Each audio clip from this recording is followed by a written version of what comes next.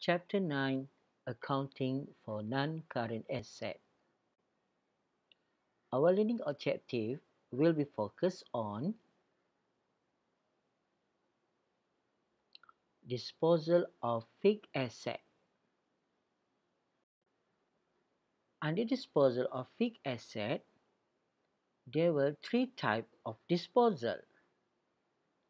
The first one, discharge. Second one, sell. And the third one, exchange. Under disposal of fixed asset, we have three steps on disposal. The first one, you have to remove the old fixed asset. We have to dispose of asset, which we have to credit machine or credit the old asset. The second one, associated accumulated depreciation from the book, which we have to contra from the old asset, we have to debit the accumulated depreciation. And the third one, to determine the amount of gain or loss, you have to debit loss on disposal or credit gain on disposal. How to record gain or loss on disposal if the company sell fixed asset before end of useful life. How to get gain or loss is where the cash received minus book value, where the book value is from the cost minus accumulated depreciation.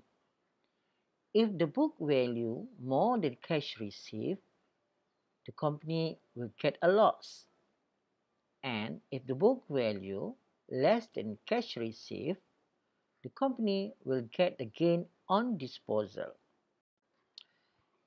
For example, machine purchase on January 1st, 2015, 25,000, estimated useful life of 5 years and no residual value, the machine is depreciated using the straight line method. On January 1st, 2017, machine sold at a price of 20,000. So what we have to do, we have to calculate the accumulated depreciation, start on the machine purchase until the machine sold. So the cost of machine purchase 25,000 divided by the useful life 5 years time 2 year of usage. So meaning the cost of 10,000. How to calculate the gain or loss is where the book value 15,000 where the cost of purchase 25,000 minus the accumulated depreciation 10,000, cash received 20,000, and the gain is the comparison 20,000 cash received with the book value of 15,000 which it seems that cash received is more than the book value so therefore the company gain on disposal 5,000. In the reporting of journal, so date January 1, 2017, debit cash 20,000, debit accumulated depreciation, machine 10,000, credit machine 25,000, gain on disposal 5,000, and narration sold machine for cash.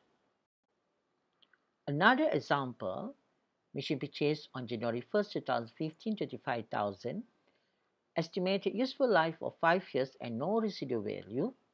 The machine is depreciated using the straight line method.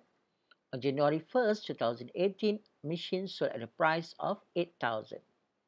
So, to calculate the accumulated depreciation, it's been used for the 3 years, so accumulated will be 15,000. We have made gain or loss, compare the book value and the cash received. Same loss where the cash received is slightly lower than the book value of 10,000. So the loss will be 2,000. So in terms of the record, preparing on the journal, credit machine 25,000, debit accumulated depreciation 15,000, debit cash 8,000, and debit loss on disposal 2,000. Narration sold equipment for cash. That's all for now. Thank you very much.